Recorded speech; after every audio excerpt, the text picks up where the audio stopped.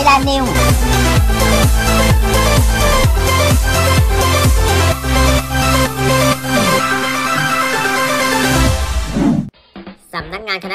การศึกษาวุฒิสภาจับมือกับสถาบันพัฒนาคุณภาพวิชาการ หรือพวลงนามความร่วมมือกำหนดทิศทางการจัดการเรียนการสอนรูปแบบใหม่ Active Learning ก้าวสู่ความเป็นผู้นำด้านการศึกษาในศตวรรษที่ 21 หวังจุดประกายการศึกษาไทยสู่สากล งานนี้ได้รับเกียรติจากดรตวงอัตชัย ประธานคณะกรรมาการการศึกษาวุฒิสภาให้เกียรติมาร่วมเป็นประธานในครั้งนี้ ซึ่งงานนี้เรียนจะมาอย่างไรไปฟังกันเลยดีกว่าจ้า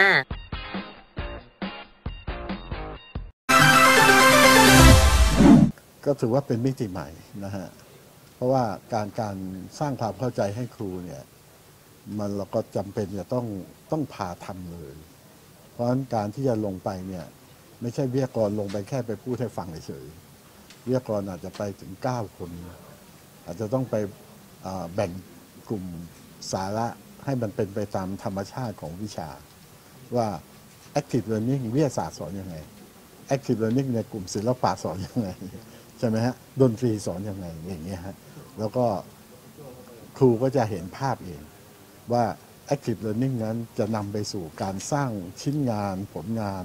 นวัตกรรมได้ยังไง แล้วก็เมื่อผลมันเกิดแล้วเนี่ยเมื่อทุกคนเอาผลมานำเสนอเนี่ย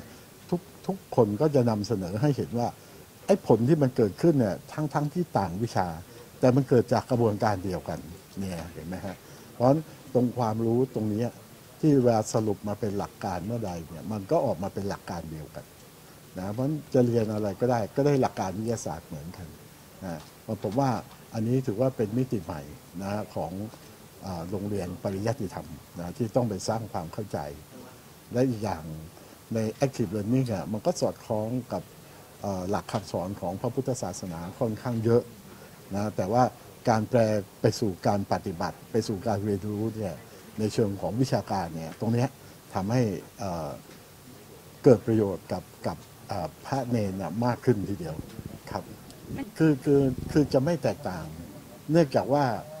การจัดการศึกษาเนี่ยของทุกภาคส่วนอยู่ภายใต้หลักสูตรเดียวกัน เพราะในหลักสูตรนี้เนี่ยเป็นหลักสูตรแกนกลาง เป็นหลักสูตรที่อิงมาตรฐาน เพราะฉะนั้นเป้าหมายของการเรียนรู้เนี่ยก็คือเป้าหมายเดียวกันนะไม่ว่าจะเป็นมาตรฐานก็ดีนะตัวชี้วัดก็ดี สมรรถนะที่เกิดขึ้นก็ดี คุณลักษณะอันพึงประสงค์คิดก็ดี ทั้งหมดนี้จะต้องเกิดขึ้นพร้อมกัน เพราะทุกภาคส่วนในการจัดการศึกษาเด็กต้องบรรลุเป้าหมาย คือผู้เรียนรู้ต้องบรรลุเป้าหมาย การเรียนรู้เท่ากันเหมือนกัน เพราะฉะนั้นไม่สามารถที่จะแยกประเภทได้นะครับคงเริ่มทันทีเพราะเพราะว่าเป็นความตั้งใจของพระพระสงฆ์ทั้งหลายนะครับ ที่อยากจะที่อยากจะทำให้ การศึกษาเนี่ยยกระดับคุณภาพเพื่อให้มันทันยุคทันสมัยนะฮะนะฮะคือคือในขณะเนี้ยเราเรายังไม่ได้ปฏิบัติว่าในในช่วงการระหว่างโควิดตอนเนี้ยเราจะจัดการศึกษาแบบไหน เพราะฉะนั้นเมื่อเราจัดไปแล้วเราจะพบปัญหาเอง เพราะฉะนั้นเมื่อพบปัญหาแล้วเนี่ยมันจะต้องถูกแก้ไขไปโดยตามสถานการณ์ ซึ่งไม่สามารถจะตอบไม่สามารถที่จะบอกได้เลยว่า ต่อไปจะต้องจัดแบบนี้ตลอด เช่นสลับวันมันอาจจะเกิดปัญหาฟีดแบ็กจากผู้ปกครองกลับมาก็ได้ว่า แล้ววันที่สลับผู้ปกครองต้องหยุดด้วยไหมเนี่ยเพื่อดูลูกหรือเปล่าอะไรอย่างเงี้ยนะฮะมันสถานการณ์มันยากที่จะประเมินได้นะครับ แต่ผมว่ากระทรวงสาธารณการคงจะแก้ปัญหาไปตามสถานการณ์นะครับ ถ้าเกิดทำไปแล้วมันมันเกิดปัญหามากกว่าเดิม ก็ก็คงจะต้องต้องเปลี่ยนวิธีครับฮะฮะ